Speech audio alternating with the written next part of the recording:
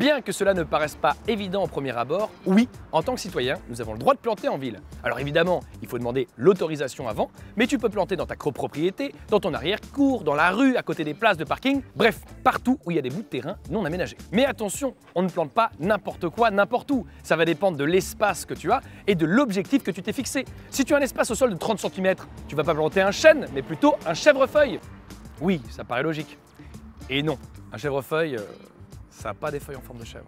N'oublie pas non plus d'en parler au voisinage, histoire que tout le monde se sente au courant et impliqué. Alors en ville, tu peux planter trois types de végétalisation. Mon préféré, un bosquet comestible, c'est mon côté gourmand qui parle. Attention quand même à la qualité du sol si tu choisis ce type de végétalisation, ce serait dommage que tes fruits soient contaminés. Ensuite, plus étonnant, une mini forêt urbaine. Grâce à la méthode Miyawaki, tu verras que ce type de plantation peut se pratiquer quasiment sur tous les types de sols.